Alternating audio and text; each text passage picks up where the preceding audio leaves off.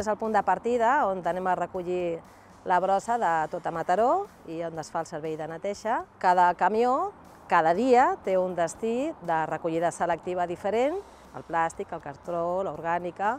no es barreja, o sigui, la finalitat justament és tot el contrari, que tot vagi on té que anar bueno, per un tema ecològic i per un tema de, bueno, doncs de benestar de tothom. Des de que tu llences la teva bossa d'escombraries a casa, després passa el camió de Mataronet i arriba aquí la planta, aproximadament uns 12 camions diaris d'aquí de, Mataró. Aquí a la planta rebem el, el contenidor groc, que és la selectiva d'envasos, rebem el contenidor marró, que és la selectiva d'orgànica, i rebem el contenidor gris, que és el rebuig.